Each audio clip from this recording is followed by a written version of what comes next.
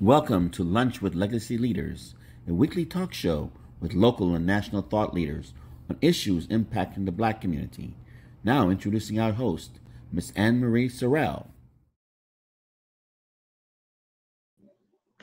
Good afternoon, and welcome to another episode of Lunch with Legacy Leaders. I'm your host, Ann Marie Sorrell, President and CEO of the Mosaic Group.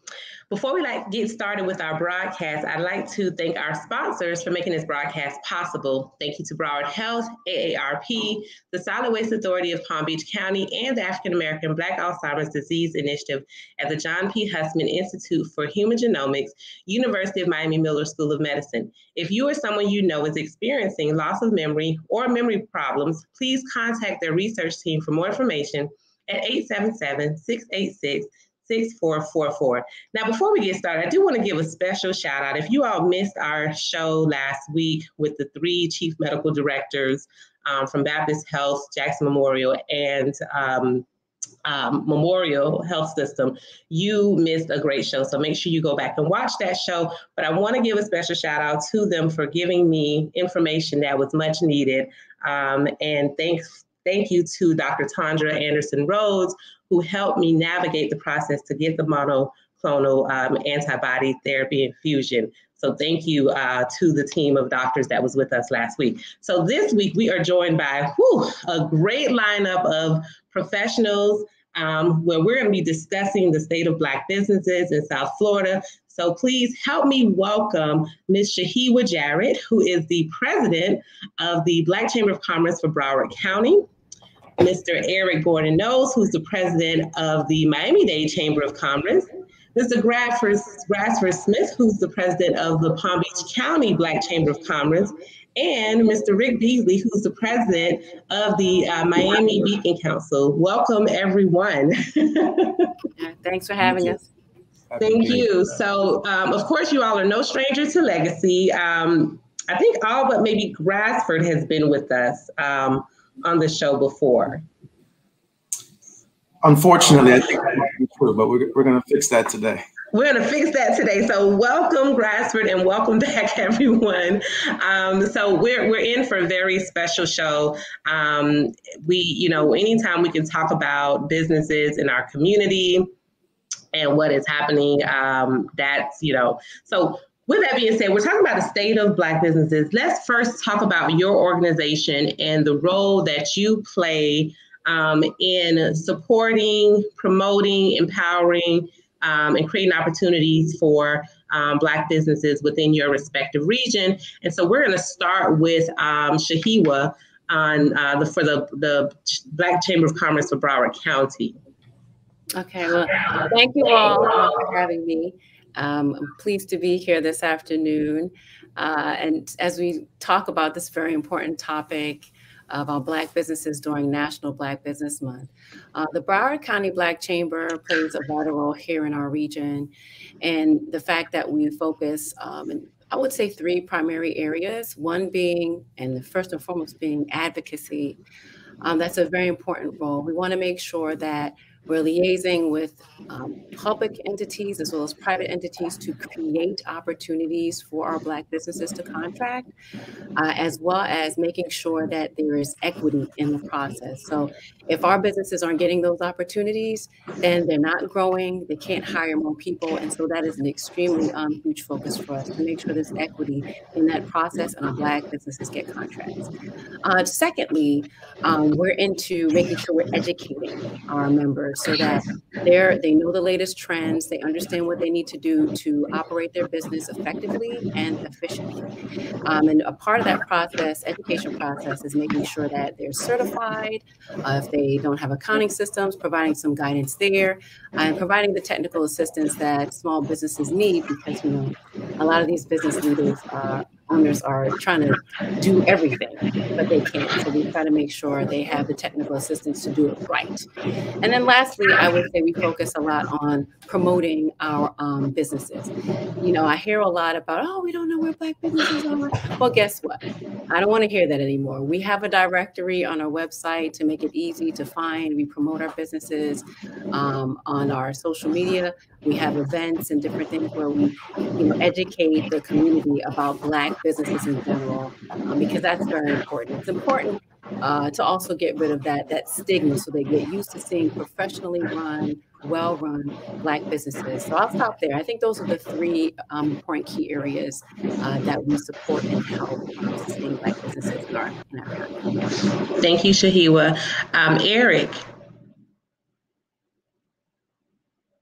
Bring myself off mute. Good afternoon. Thank you, Ann Marie, again for having all of us um, as we all advocate for opportunities for Black business um, each and every day. The Miami Dade Chamber has been around since 1974. It was formed because of the lack of opportunity. Um, and, you know, I, I want to first of all salute my good friend Rick Beasley as the chairman of the Greater Miami Chamber. And, and I say that because again, as the, the Miami-Dade Chamber was formed in 1974, it was because of the lack of opportunities and inclusion. And there were several businessmen and women that came together and formed the chamber. And when you talk about opportunities in 1974, and here we are in 2021, where we still have disparities, where in Miami-Dade County, black businesses receive less than 2% of county contracts. Same thing was happening with Miami-Dade County Public Schools. Uh, but that has changed somewhat because the Dade County um, Public Schools with Superintendent Carvalho and uh, board member Dorothy Mindingall and Steve Gallon have put policy in place that directs and creates opportunities for black business.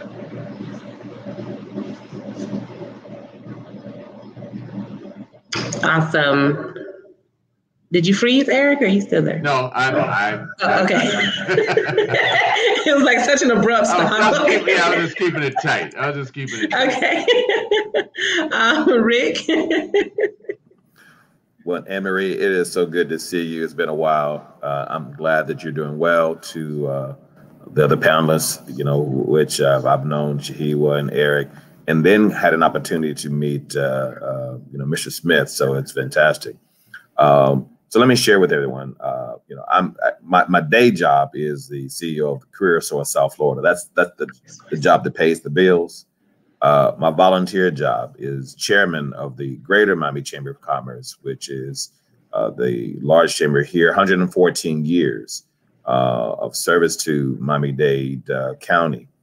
Um, you know, in terms of how we help Black business, I can tell you that if it wasn't for our partnership with Miami Dade Chamber and Eric Knowles, uh, we wouldn't have been able to launch uh, GMCC Unites, which is a program that we launched uh, to help Black businesses due to um, the needs uh, that arose, but specifically to address issues that came out of the, the George Floyd uh, incident last year. Uh, and I will share with you that we've had a number of conversations with Eric and how we, you know, the chambers can partner more importantly, how we can get our Black businesses engaged of opportunities not only uh, within uh, the county uh, and other municipalities, the school district, but more importantly, uh, other um, opportunities with big corporations that are here in Dade County. So our goal is how we mentor them, uh, how we're able to connect them, uh, how we're able to provide technical assistance. And so um, uh, our chamber is really looking at ways of how we help grow uh, small business, and small business also means Black businesses. And so, uh, the Greater Miami Chamber of Commerce has been around. Uh, and unfortunately, I will share with uh, Eric. You know, Eric has shared with you all.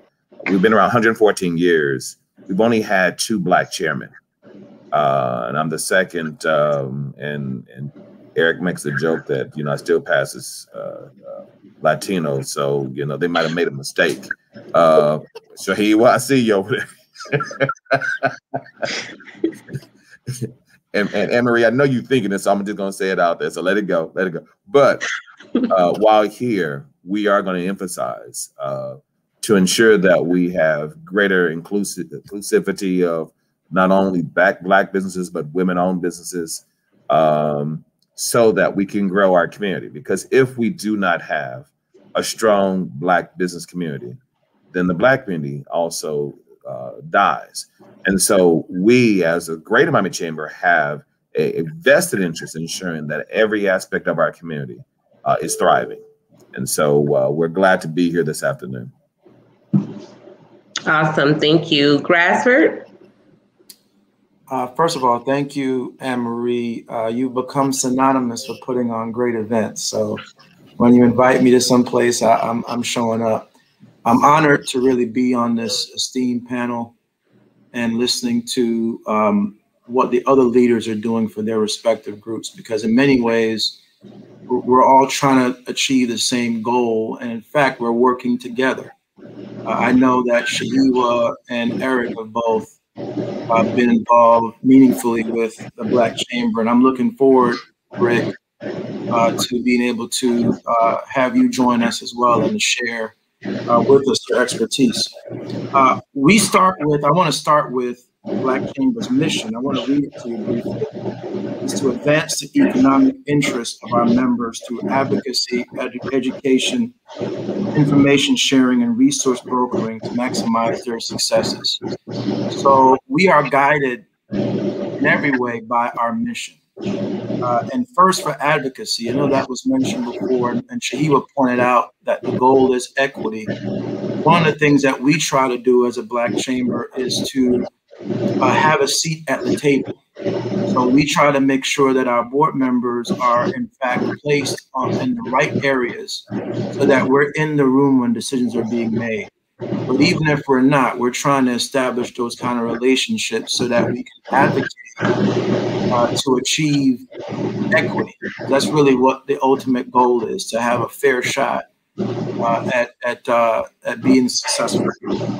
Uh, I know others talked about technical assistance. You know, we pride ourselves as a Black Chamber on providing uh, great technical assistance. We, we have an Ask an Expert series that we do regularly. Uh, during the pandemic, we innovated a program called Wednesday Wisdoms, Wednesday Wisdom, which is all done virtually. And we bring in experts like Shaheewa and Eric, talk about different uh, areas that they have um, they can offer to our members. I mean, everything from accounting, IT, uh, and by the way, mental health, because that's something a lot of us uh, suffered from uh, during the pandemic. And, and networking opportunities uh, that we also provide. So I can go on and on, but I'll stop there for now. We are definitely laser focused on how we can uplift Black business community because, as Rick said, when that Black business community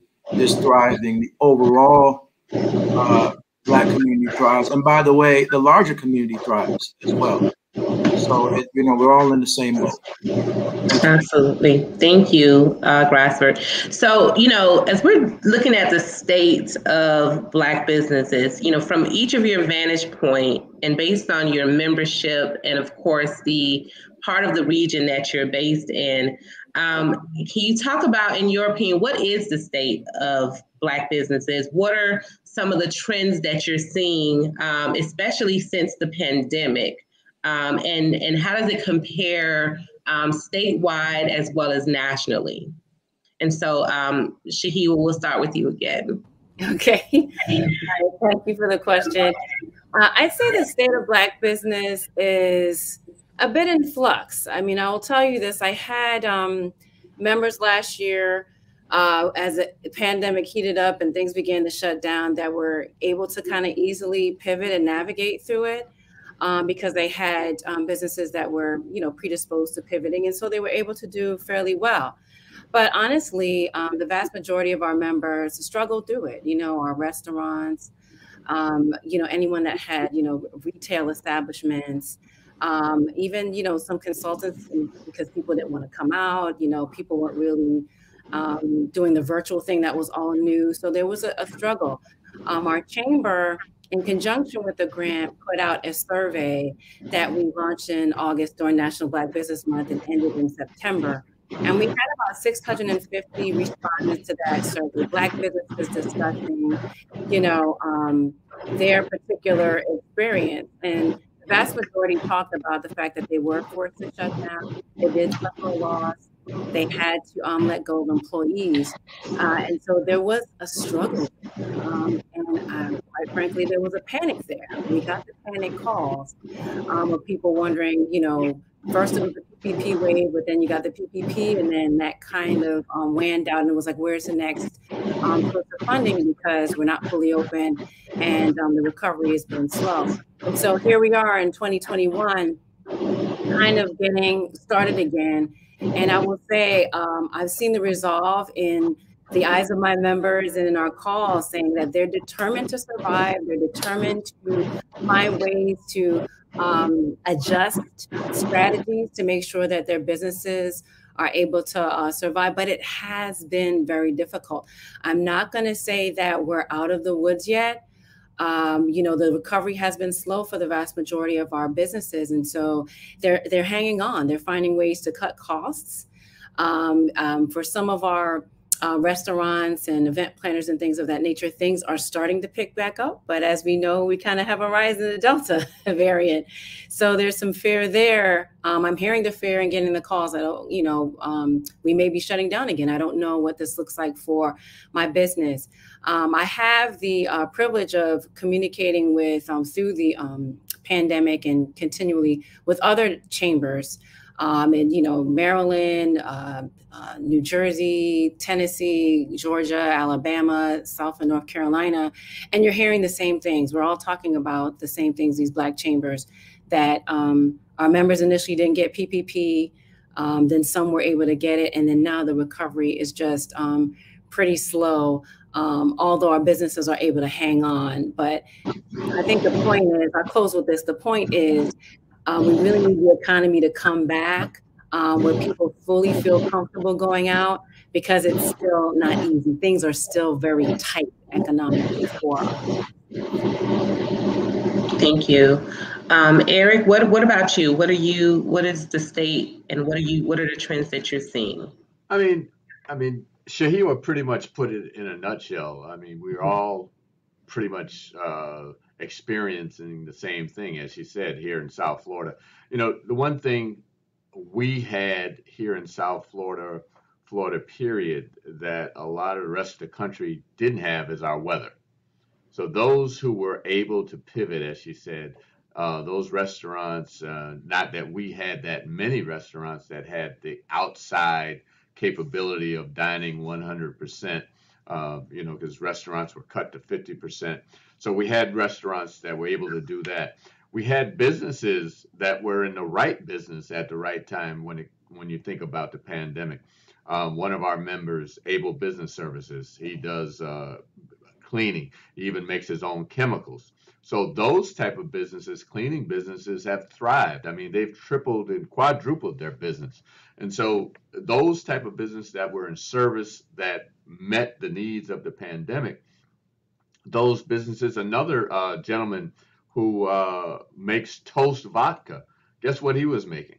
He stopped making vodka and he made uh, uh, uh yeah hand sanitizers. Hand sanitizers. So it was those type of things when you say what's happening. You have those businesses who are thriving, and obviously those who have gone out of business, and those who are trying to hold on. So um, what and and I you know I have to thank Rick uh, because of Career Source South Florida. We have been providing technical assistance each and every day to our members. Um, we when the pandemic hit, we were on every day like right now zooming basically and providing information how to access the PPP, how to access EIDL, how to access the uh, Florida emergency money.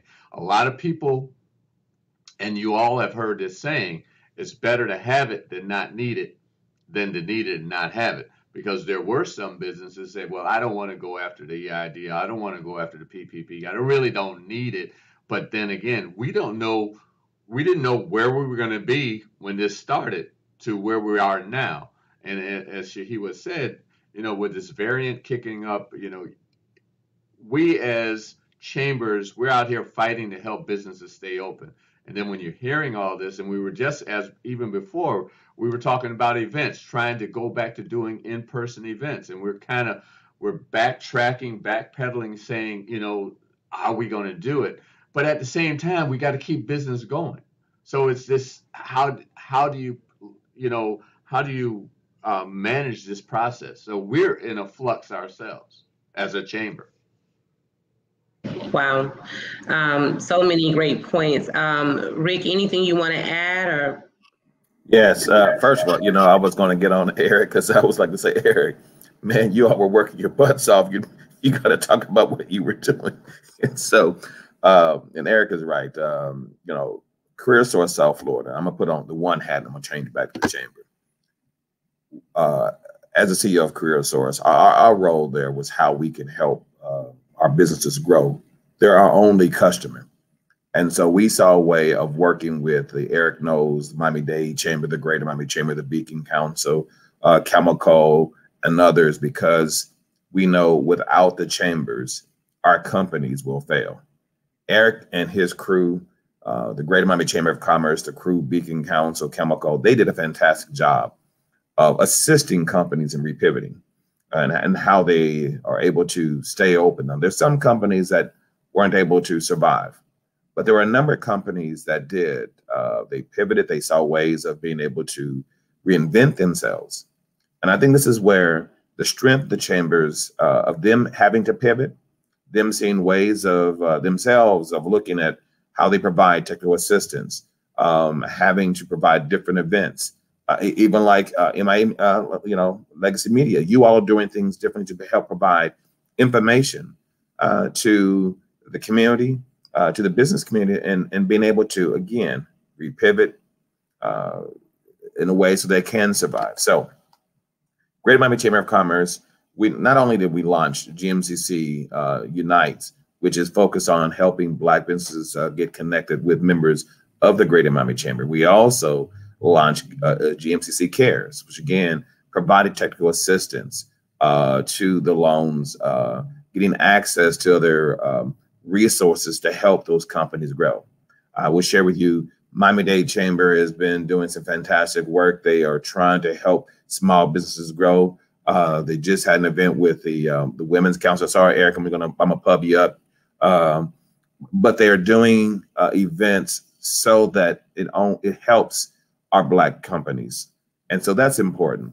Uh, again, the Greater Miami Chamber, we we partner with Miami Dade, but our role here is how we help small businesses. Uh, there's an event that we're going to be launching here. Alfred and I are trying to finalize a couple items. Again, kind of a, a, um, a business roundtable meeting with Black leaders on how we are to engage, how we're supposed to uh, provide uh, access and other resources.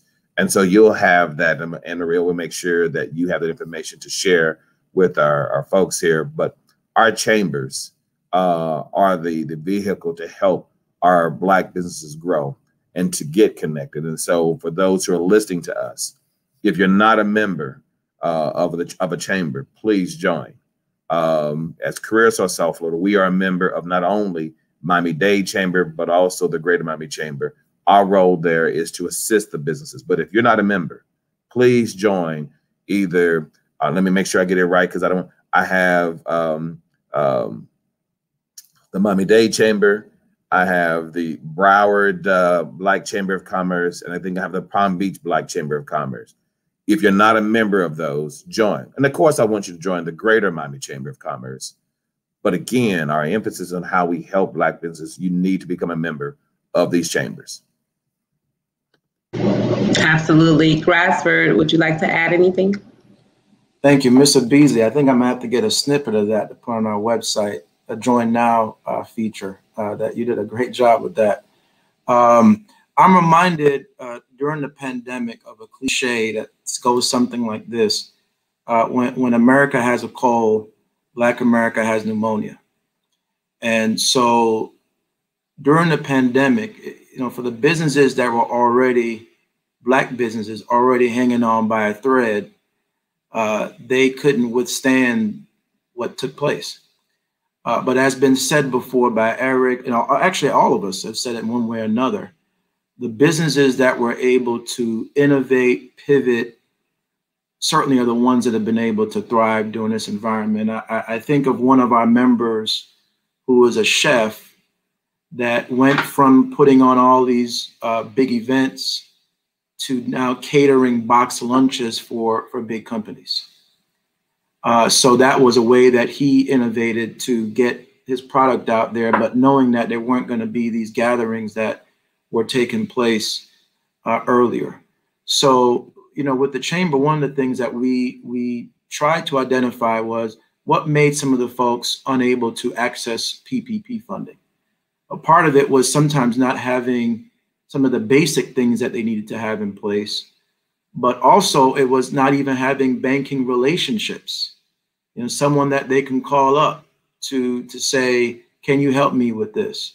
So when we identified those issues, uh, we immediately, again, I mentioned the Wednesday Wisdom platform, but that's really what was birthed because of the need to educate our members and also to partner with banks. Uh, one of our, actually, we have several board members who are senior banking um, officials. So we, we, have been trying to make sure we bridge that gap. So as a chamber, we're just there to to assist the best way we can. But we understand that the pandemic afflicted many of us, and, and we're not going to be immune from that. We're just trying to be better prepared as the, the, the other variants come around or whatever other type of pandemic or, or, or other strife, strife that might, may come about.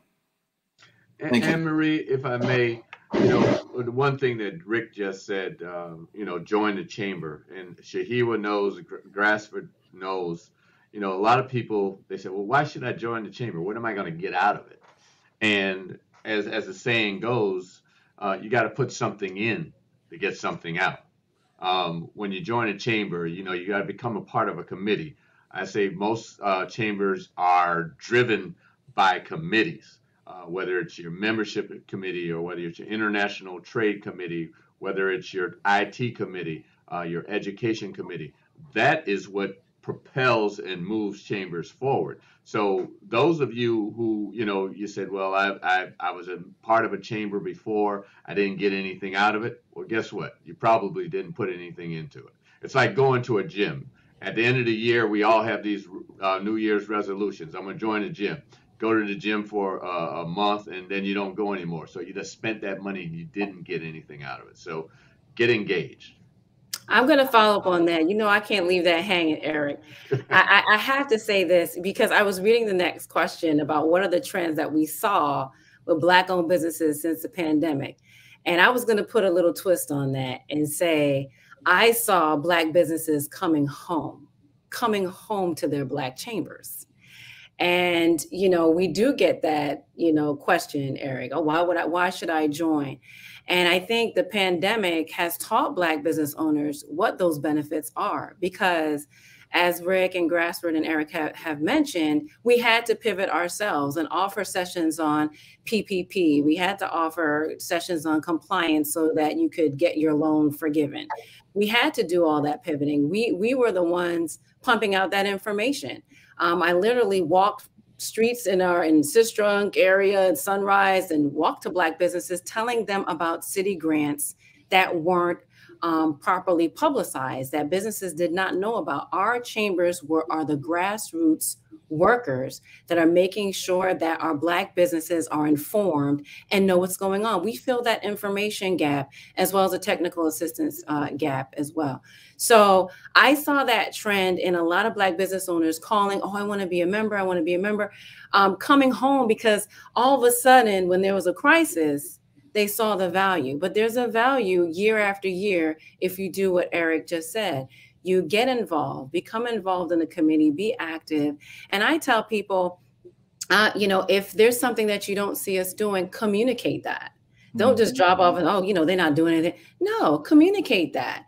We're here for you. We're, we're here to make sure that you get the programming and the support that you need. And that's exactly what we did uh, during the pandemic. So that was the biggest trend I saw. I saw Black businesses coming home to their Black chambers. They thought there was something, I guess, flashier and nicer at the other chambers. And I'm not saying that the other chambers don't, you know, offer things. You should, if you you're a business owner, you should belong to multiple chambers. I mean, that that should be a, a business plan and decision. I'm not just a, I don't just run a chamber. I also have a business and I'm a member of multiple chambers. So that should be in your budget. But don't think there's something flashier and nicer at the larger chamber that your black chambers don't have we have it and we give and we give a little bit more because we have that passion and dedication to our black businesses and that's what i saw um, with these three chambers as we met through the summer, last summer, trying to figure out how we could help our Black business members. Um, uh, last then she Marie, to jump in again. Hold on, on Rick. Get, get, Hold on, Rick. On. Hold on, Rick. And so, you know, as you said, you know, those other chambers main they they have what they have, but we need something more. You know, that chamber, that greater and, and no disparagement, because Alfred is a great friend of mine. And even when I was with the Dolphins, they were part of many different chambers. But they're not concerned about disparity issues that we are. They're not fighting for uh, for equalizing the opportunities that that we have to fight for. So as as Shaheewa said, yeah, we probably grew uh, exponentially um, because of people coming back to the chamber and and getting the information that we were providing. So Rick, I'm gonna shut up. Go ahead. No, I, you know, Eric, I think you're right on. Uh, so let me say this: that you know, as becoming chair, even in the um, uh, in the role as vice chair and then uh, chair elect, everybody, you know, you know, all my friends, colleagues, what are you going to do for the black businesses? And my first comment was, uh, have you joined? Because I can be there and can be one voice, but if you're not engaged in the chamber, then I can't help. I can't push an agenda item and not have support. And I think Eric, you hit it right on the head in terms of joining the chamber, whether it's the, the Greater Miami Chamber, the Alliance, you know, the, the chambers that, uh, let me just say, the, the, the chambers that represent everybody, white, Hispanic, uh, and not specifically for the Black businesses, but we don't have enough Black uh, businesses joining the Greater Miami Chamber. We need that. Why? Because you need the connectivity as well as you can get for that you can at the at the our Black chambers. However, we still need to know how to partner with others outside of our own communities. And that's what also happens. The other piece is that you need, just like was mentioned, if a chamber is not representing um, your best interest, you need to put it out there. You need to engage the chamber so that it can represent um, your interests. And so having one person um, being there to represent again, folks, I can't represent every aspect of the black community because we we are a very diverse black community. And so, what I need those from the Haitian community, those from uh, from uh, black uh, black Latinos to, to you know their businesses, those of African descent, every component to be a part of the chamber and engage. Whether you're on the finance committee, uh, workforce committee, the education committee, whether it's um, trade, we need every black business to be a part of because again it's a it's a way of engaging but also being able to share some of that information black to your own respective chambers. Join as many chambers that will represent your best interests okay? And, and so we need to ensure that our businesses are engaged uh, and to help build because for me committees build a stronger chamber committees help build a stronger community and if you're not engaged then we're not going to get access. You can't advocate in terms of having a business development fund uh, created by your respective municipality or government if you're not engaged. You can't bring those ideas uh, to the chamber or to other organizations or elected officials to help push your interests. And so we need to understand the importance of chambers, but also the importance of Black chambers, what it represents for your respective community. Again, I want you to join the Greater Miami Chamber because I need you to be a voice um, in those meetings because I can't be in all those meetings myself. No, I, I think those are such great points about, you know, joining, being engaged, um, joining multiple chambers so that way you're able to really connect your business and create awareness about your business and your services, but also being involved. Um, I think the you know, for, for me as a business owner, one of the greatest testimonies I have in growing my business was through my volunteer work and my um, committees that I was a part of. I was one of the ones who helped restart the Palm Beach County Black Chamber many moons ago. Um, but it was through that work that people saw me and when I, you know, had a business, then said, okay, well, if you're doing all this for free, let me see how, you know, I, I, can trust you with my product or service or brand as well. So, you know, um, being a member has its benefits, being engaged has its benefits. Um, it's a great way to build relationships. It's a great way to network. It's a great way to show your skills and your expertise as well, and a great way to give back. So um, I completely agree with uh, what each of you have said. Now, one of you talked about each of you mentioned something that was so critical, and it was pivoting um, or um, adjusting uh, to you know this new environment that we're in.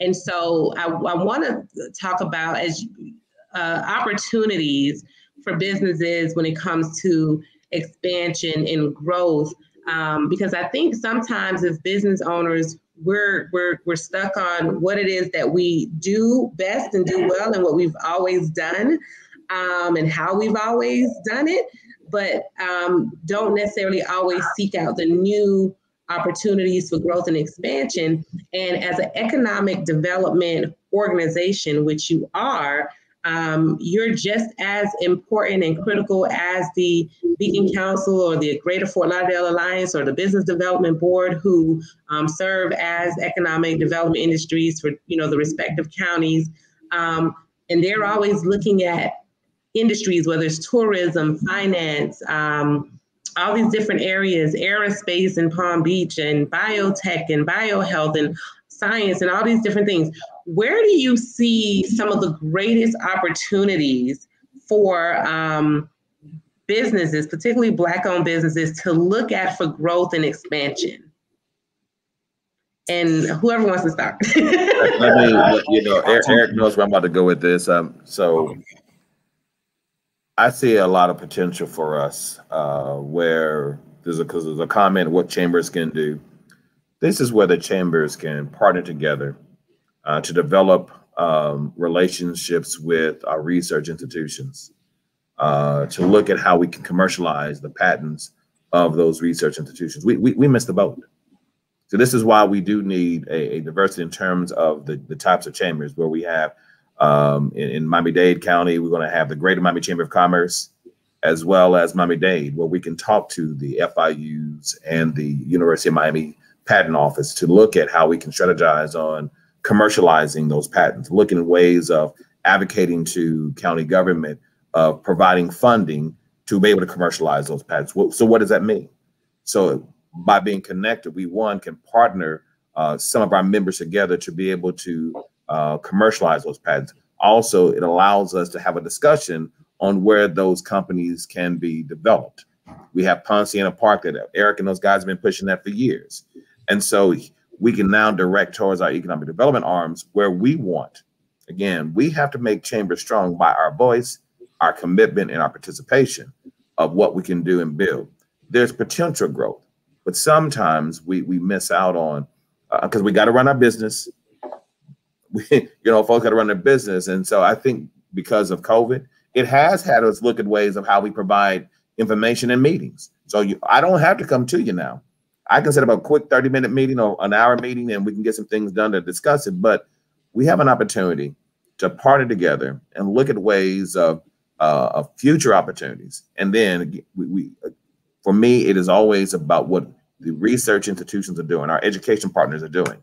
We, we missed the boat because there are patents there. And so we, we we're always the last to get in on something when we can be the first to be in on something to build and have it built in our community to have high growth occupations, high growth jobs for our community. So we we we have an opportunity. And I know Eric has done it with the alliance and everything else. Go ahead, Mr. Smith. No, I wanted to just build on what you just said. Um, and Ann Marie, at the event that you hosted recently for the city of West Palm Beach, the speaker, Ann, Ann McNeil, made the comment to the audience that we all need to be experts in our respective industries. That's a part of being a good business person, to be an expert in industry. So I, I'm I'm a law firm partner. I must be an expert in my client's industry. You have to be aware of what's going on. So for example, this Biden infrastructure plan that, that's being talked about, uh, that's going to be billions and billions of dollars being infused into communities. I guarantee you that uh, a lot of the a lot of big businesses are, are sitting around strategizing and planning for how they're going to attack those opportunities. What we hear all too often is we didn't know that that was posted. some opportunity that was out there to build this, to do this, or to do that. That's partly where we as a chamber come in. We want to make sure that we provide that information and give you ample opportunities to apply. But the onus is on you to, to, to be tracking your industry and to think about if, if, if construction is thriving, that means there are going to be professional services that will also be thriving uh, that could impact the, the food industry. And there's so many different uh, uh, outgrowths of all of these opportunities that are coming down. But but what I see often, the businesses that do well are the ones that are paying attention to what's going on, showing up to the meetings, uh, you know, reading the Wall Street Journal or, or whatever it is in your in your particular area to make sure that you're you're familiar with what's going on and you're there and prepared to attack it the way that you need to. The, the other thing that uh, Rick didn't mention, and then he's been a big part of, you know, you talk about trends and where we're going. You know, uh, and, and all of us have experienced this. You know, we push for our high school graduates to go to college. Everybody isn't going to go to college. I mean, that's just a given. And the things that Rick has been doing with Career Source, they just started this automotive program in which uh, they partnered with Miami Dade College and getting a certification uh, in auto repair, working with Braman and um, Warren Henry Motors. And these young men and women are coming out making sixty to hundred thousand dollars a year. But my point in saying that is there's also that opportunity that those young men and women can can become entrepreneurs and build their own shops.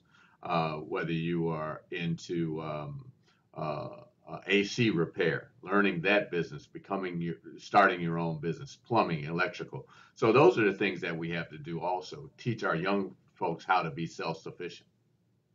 I'm gonna just jump in real quick, Ann Marie, and mention the fact that you know we have industries that are budding in the state of Florida, and I know when we first started, um, I first launched the chamber, there was this new industry coming to Florida, which I don't feel that. Um, we have enough black representation. I know there's been a lot of fighting and lobbying to get uh, to be, for it to be more inclusive, but you know this cannabis industry is huge in you know Colorado and California, and you know it's predicted to be you know a multi-billion dollar industry here in Florida, and you know that's something you know we've we've partnered with a few minorities for you know medical marijuana and done they had a U.S. cannabis um, expo and conference, and we kind of hosted something um, in Broward for that conference, which was in Miami, to try to you know expose our um, members to that as well.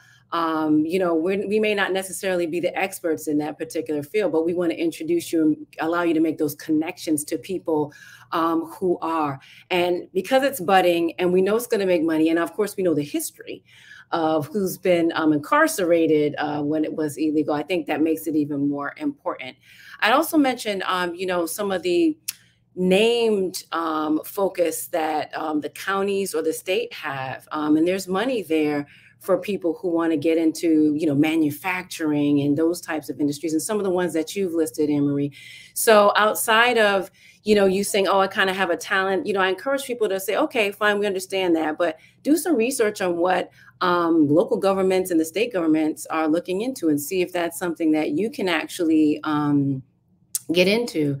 Um, I see that comment about solar. We have a, a turn to turn to solar company in um, the chamber that does that, but that's also a budding industry. So you want to make sure that, you know, it's not simply, oh, well, I can cook, so let me just, you know, you know, I can be a chef or something like that. If you have an interest in business in general and don't really have um, an idea, you can do this research and find out um, how you can get involved in these other industries. I'd also say that tourism, I think, is something that um, as Black businesses we we need to take advantage of and and um, as a chamber, we're looking more into that and have been trying to partner more with our CVB and open up opportunities there. We have a very diverse business community. Our CVB should be um, promoting Black businesses um, not just black faces in commercials. Um, our business should be um, pivoting so that tourists can um, come into their restaurants, use their floor shops, etc. Uh, you know, we should be actively engaged in that industry, and I just don't. I don't see that.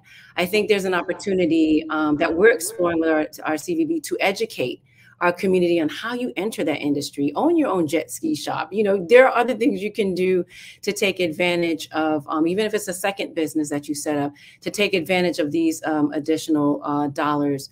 Uh, that are there. So that's something that we're um, really looking into. And lastly, I may, I'll, I'll, kind of piggyback off of Rick with the patent. Um, I, I, I, attended an alliance meeting and heard um, a doctor from uh, FIU speaking, and I immediately invited him to our meetings. And we've done three different things with him because of the power of whether you buy a patent and then commercialize it, or you work with um, these federal labs around the nation. And I was blown away. I was like, what black people know about this? other people know about this. And so we've been pushing that and did a tech session and some other um, sessions on patents. Um, because and the history of patents in our community to, to, so people understand this is not something that we've never done we have black people utilizing patents to create wealth um, but also adding, finding ways to add um, some type of technology or patent to your current business to now you have a product instead of just a service so that you can expand your offering and expand your revenue. So that's something that we've been, we have been active in and we, are getting active in some of the other areas to make sure Black businesses um, know about these different opportunities. And, let me also add that uh, not only with uh, connectivity to to our research institutions uh, to commercialize the patents. I think we, we we have failed, and I would love to encourage all, you know, particularly Black chambers, uh, to really look at uh, creating opportunity funds uh, to target uh, opportunity zones that will can help grow Black businesses throughout um, our, the southern region. Dade County alone uh, the state of Florida has 412 opportunity zones that have been designated by the governor, okay, the, the previous governor. And there were some areas that, quite frankly, should have been designated as an opportunity zone, like Opa-locka, which was not. The airport was, the city itself was not. We, we, you know, so we're not going to debate that. However, it does present an opportunity where chambers can lead initiatives to bring in angel investors, uh, to take a look at how we can grow our Black community and how we can grow Black businesses by utilizing opportunity funds uh, in those areas that have been designated as an opportunity zone. There are 67 in Dade County alone, 67. In my workforce region of 68, there's one in Marathon. But in Dade County, we have 67. And so I think we also need to take uh, an advantage of being able to bridge uh, our Black businesses, uh, see how we can get them and provide technical assistance to partner together to be able to create um, new businesses, different business, or grow uh, in opportunity zones where we can use those funds to help uh, develop our respective communities. And so that was just another nugget I just wanted to throw out there. Also, Rick, um, you know, Miami Dade County, South Florida is becoming a, a major tech hub. And so, how do we push the envelope to make sure that we as a Black community are engaged with that? But also, when you talk about the opportunity zones, we know we have these CRAs. How do we get our folks to understand what a CRA is, what it does for our community, and how can we get engaged with uh, doing business with the CRA? So, and the, and the other part of this, you know, Shaheewa and I, we have been in meetings together. We've been in meetings, uh, and when she talks about tourism, the one thing I will say is that the Greater Miami Convention and Visitors Bureau has been doing a outstanding job with Connie Kinnard, who is the VP of uh, of um, uh, gosh, um, trying to remember the, her actual title, but anyway, um, yeah, multicultural, multicultural, multicultural uh, tourism, and I know I've sat in classes with the uh, tourism board that they have provided to our business community. The one thing that we have to do better is understand what we're good at. You know, a lot of us want to go into business, but we're not necessarily good at that. I say a lot of us fell uh, fell short when the when the pandemic hit because as I said, we didn't have the back of our house together. You know, it's one thing to know how to cook. It's one thing to know how to uh, be a, a landscaper or whatever that particular job is. But if you don't have a lawyer, you don't have an accountant, you don't have a CPA, we have to do, do better at understanding business and running our businesses and, and partner with others. You know, it's one thing to want to start a business. Have you talked to someone who runs a or have been successful at that particular business that you want to start? Wow, all such great points. And I'm going to have to throw a shameless plug in here because we have the National Black Economic Conference coming up. Um, the date has moved to August 27th, which is a Friday. And we're going to be discussing, we have so many dynamic speakers that's going to be talking about a lot of these opportunities we discussed here from the $91 billion cannabis industry and how to tap in to the infrastructure um, bill and various infrastructure projects. We have the US DOT um, director that will be there. Um, we're going to be talking about real estate. We're going to be talking about cryptocurrency as well as solar energy um, and so many other businesses and industries that people um, that are listening, if you're listening, should be involved in. And you can learn more. We, are partners with, if we're not partners with you on this call, I know we are with Palm Beach County. Um, uh, we've partnered with you before and we want you to partner with us again. MIA Media is a sponsor. Um, but, you know, nationalblackeconomicconference.com, you can register um, August 27th. It is virtual. So you can attend from anywhere in the country. Um, and this is the information that we're going to be sharing about these opportunities and how you can get involved and, and, and expand and grow your business. And each person here has just so dropped so much information. And I think we can have a whole panel, which I'm going to talk to you guys offline about that at the conference. about the importance of chambers and being involved because I don't think um, mem- uh, uh, people are really understanding the importance. We had a question about, you know, why join a chamber, um, but you all have addressed that so eloquently here, and I know that there's so much more that we can talk about um, about joining a chamber. So one of our closing questions, um, I'm gonna try to wrap them all into one um, because and I, I, think we've we're doing a better job of, of supporting each other. August is National Black Business Month. Um, there are 31 days, 31 ways to support a Black-owned business. If you need a list of, of how to, uh, what to do each day and what type of business you should think about, you can go to blackbusinessloop.com and you'll see that list right there on the website for you to look at those 31 ways that you can support a Black-owned business. So number one, um, this is going to be a three part question. Why is National Black Business Month so important? Um, in your opinion, how can we encourage uh, Black business owners to support each other and buy Black from each other, as well as others that may be non Black to buy Black, um, and why that's important? And lastly, what initiative or event or um, uh, activity do you have coming up um, for the month of August that you want to share with um, our audience. So we'll start with Shaheewa. All right, thank you for the question. Um, you know, National Black Business Month is, I think, a wonderful opportunity for us to celebrate what is uh, Black business excellence. I feel that it provides. Um, I, am a hist- I love looking back in history, and I think when you look back at what our um, ancestors were able to do not too long not even too long ago in the 40s and 50s, um, and you know the early 19th century with the little that they had, but they were able to, to create businesses, create jobs, support their families, and push forward toward the American dream. And so I love um, to look back on that. And I think this month is a very special time to be able to do that, to celebrate that grit that we have, that we survive despite despite what we have had to um, endure. And so I think that's very important. I think it's also important for the greater community to understand that we have um, Black businesses that are out here doing it, contributing to the community, creating jobs, and that are um, impactful. Uh, so that's why I, I, love this month, especially.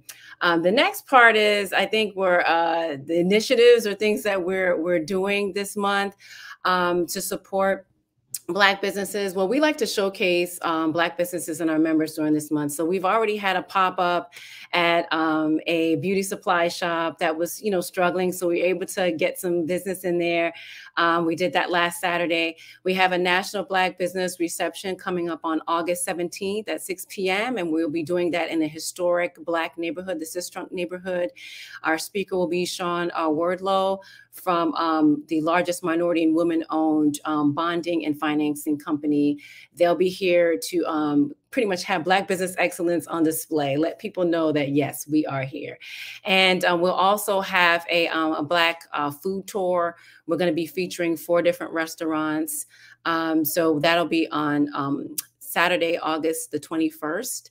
Um, we'll be doing that. And then we'll be closing out the month at a restaurant with a wine tasting at Swirl Wine Bistro for people to come out and kind of enjoy um, and close out the festivities for the month with us. And once again, to support a restaurant, one of those businesses that were, uh, you know, struggling during the pandemic. So that's that's what we're doing for uh, National Black Business Month here in Broward.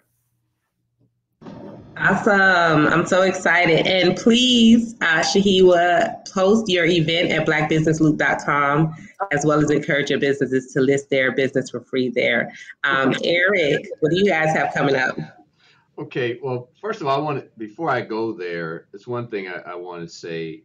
Um, in the process of going through the death of George Floyd and, and the pandemic, there were a lot of corporate America businesses that pledged billions of dollars to our community.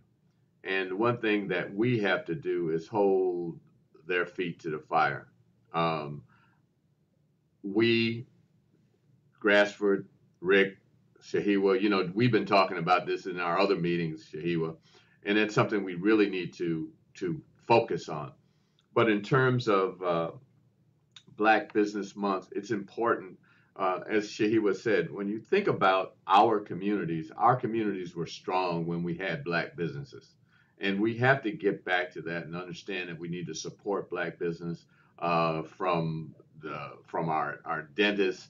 You know, my dentist, uh, he retired, but my my um, my uh, um, my person that cleans what do what they call them uh, hygienist. My hygienist is black, so I continue to go there because of the business was sold. It's no longer black, but my hygienist is black. we got to support black business, and, and promoting black business is important. Uh, what we're doing, we're doing basically pop-ups where I'll drop into one of our businesses and do a Facebook Live. Uh, we did uh, Mr. William Barry uh, uh, last week, and we'll be doing others. We're just surprising them. It's a surprise. We're we haven't scheduled anyone, but that's what we'll do throughout the month. At the end of the month, we started this last month. The last Friday of every month, we will be going to a restaurant. We're working on which restaurant we'll be going to this month, so listen out for that. Awesome, Rick. Well, let me first address the one question of why, uh, you know, Black National uh, um, National Black uh, Month, Black Month, Business Month. First of all, it is to celebrate. I think Shaheewa hit it right on the head to celebrate Black businesses. But I also feel it's a way to provide exposure uh, to our future entrepreneurs, so they have have an understanding one of our history, uh, oftentimes, folks think that we just created businesses in, in response to. And again, I am a product of Black Wall Street. Okay, my great grandparents had three grocery stores in Black Wall Street. So again, being an entrepreneur has always grown up in our family, and so we need to be aware of the history, but also the future and potential uh, uh, businesses that we can that we can inspire. So recognizing and really honoring this month is really recognizing the commitment and support, but it also means it supports our community because they, you know, if you have a black business, you typically hire someone of who's black, so it creates uh, employment opportunities, and we missed the boat on that. Okay, and so uh, anything that we can do, uh, one as a chamber, because I'm going to encourage the Greater Miami Chamber to make sure that we have this as part of a, a an annual recognition, so that we don't miss the boat. We sometimes forget. And so it allows us to have others to partner together. and bring about uh, a stronger community because that's what Black businesses do. It brings about a stronger community.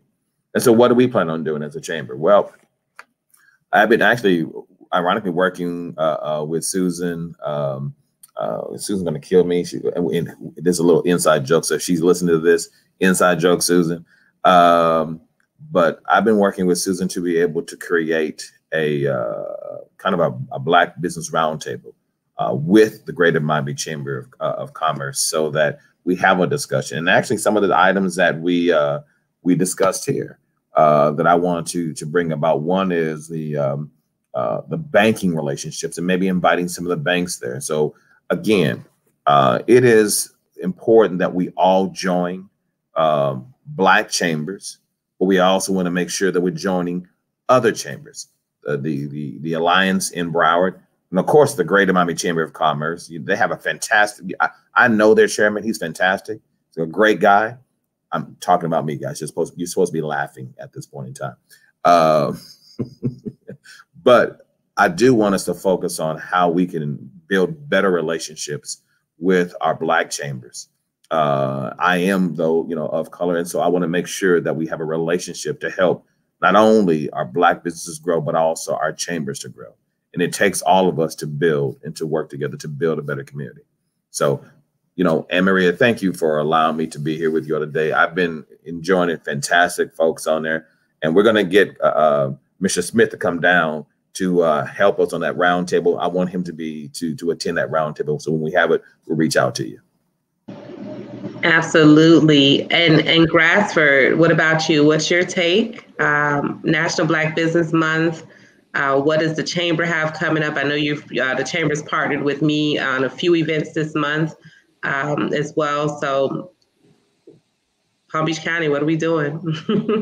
well, Ann Marie, we know you're a rock star. We will keep partnering with you. And I want to say this, uh, Mr. Beasley, Rick that I definitely would love to have you on one of our platforms. I love to learn about your family's history in Black Wall Street. I think that those type of stories are important for us even today. So I look forward to um, that discussion. As was mentioned by Eric, the George Floyd death um, really was an inflection point uh, for a lot of us in terms of what is a Black life really worth. Uh, but what I think we need to realize is that we need to do a better job supporting each other. And by the way, not tearing each other down, because there's some of that that, that happens if we're being quite honest uh, with ourselves. So we need to do a better job of supporting each other. How often is our dollars circulating within our communities when when we make it versus in other communities where they keep their dollars circulating, but in our communities, it jumps out pretty quickly. And to Shaheewa's point, we want to celebrate Black excellence because there's excellence in all industries within our community. And we should uh, do a better job of making sure that we're supporting and not tearing each other down. Uh, in terms of what we're doing as a chamber, uh, we're definitely focused on um, engaging with our resource partners. For example, we have an event coming up uh, with the county and other uh, local partners.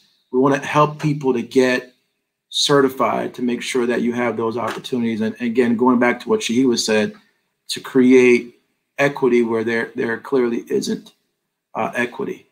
Uh, that's something that we're focused on. Right now, I'm in talks with a, a major financial partner uh, that would that will result in creating uh, financing opportunities for our local uh, black businesses. So you will be hearing about that also relatively soon. Uh, we're just really uh, focused on whatever we can do to allow you to be the best that you can be.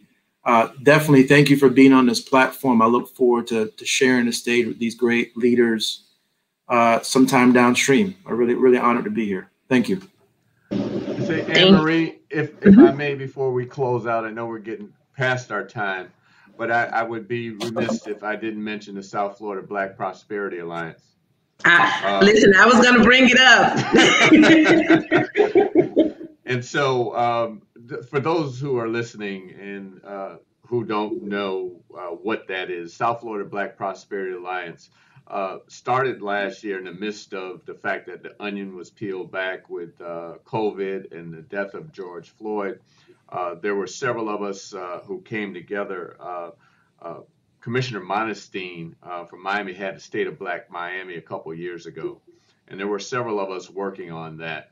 And then Shaheewa, along with Frank in, in, in, in Palm Beach, we were working on issues from a chamber perspective. And then uh, Ruban Roberts from the NAACP and others were working on issues on how do we support Black families and how do we support Black businesses with the pandemic. So we all came together and we, we founded what's called the South Florida Black Prosperity Alliance because we're all impacted by the same systemic issues uh, across the board, whether it's Broward, Dade, or uh, Palm Beach. So we stay tuned uh, to learn more about the South Florida Black Prosperity Alliance. We're going to have a symposium in at the end of September. Uh, we're actually coming up to Palm Beach to recruit some new membership on uh, September 17th. We're working with Grasford, Grasford and uh, Frank Hayden on that. So uh, please stay tuned, and maybe we'll have a have a legacy luncheon and talk about that as well one day. Absolutely. Um, and please get involved in the South Florida Black Prosperity Alliance. We need all the help and hands on deck that we can. Um, listen, this has been an amazing panel. Um, I know we can talk for hours on these various topics. Um, we definitely will be doing this again with various updates. Um, I encourage everyone to please um, join. And, you know, I asked this before maybe a chamber pack, you know, where there's a membership for all three chambers and this is chamber pack for one investment. I don't know. Figure it out. you know, let's figure that out. I'd, I'd love to be, you know, a member of all of you. um, so, but no, thank you so much. And, and please, really quickly, um, where can we reach each of you, your website? If you can drop that in the comments, but also just say it real quick. Shaheewa, how can our audience reach you and what's the website to join and get involved?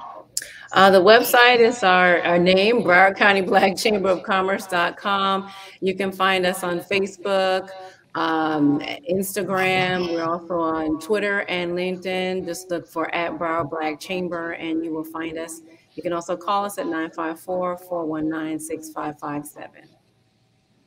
Eric. www.m-dcc.org or 954, excuse me, 305 751 8648. Rick? Well, the Greater Miami Chamber of Commerce, we and we I do encourage all of the folks who are listening to uh, become a member. Um, but also become a member of all of my respective uh, panelists here of their chambers. But the Greater Miami Chamber of Commerce, you can reach us at www.miamichamber.com. Uh, please ask for Lillian Ventura regarding GMG, GMCC Unites, which is our program that we've launched to give uh, a free membership uh, in partnership with one of the sponsoring members uh, to um, uh, to join the, the, the Greater Miami Chamber. So we look forward to having you all. Again, we also look forward to partying with our other colleagues here, uh, the Broward, uh, again, Palm Beach. We're already partnering with Miami Dade Chamber. We want to enhance our relationship with um, with Miami Dade Chamber because they're doing some fantastic work. Awesome, Grasford. Thank you. BlackChamberPBC.com. PBC for Palm Beach County. Our phone number 561 282 9657. Our great office manager, Tracy Thomas, will assist you. And we are on all the social media platforms, very, very active in promoting our members and profiling them. So you've probably seen some of that if you've uh, been uh, one of our, our friends. So like our pages as well. Thank you very much. Thank you. Well, stay with me one moment. I do have some quick announcements to make. Um, I want to once again thank our sponsors, Broward Health, AARP, the Solid Waste Authority of Palm Beach County, and the African American Black Alzheimer's Disease Initiative at the John P. Hussman Institute for Human Genomics, University of Miami Miller School of Medicine. Please check out our current issue of our top educators in South Florida. And if you haven't already done so, please save the date for our next issue, where we will be highlighting South Florida's 40 under 40 Black leaders of today and tomorrow, which will be released on August 22nd in the Miami Herald and the Sun Sentinel, and of course, the digital version that you can uh, view at miamediagrp.com. Please remember to tune in to our show Soul, hosted by Ms. Nikki Jellin every Wednesday evening at 7 p.m um, where we disseminate intellectual entertainment on fashion, arts and culture, relationships, mental health, and food in South Florida.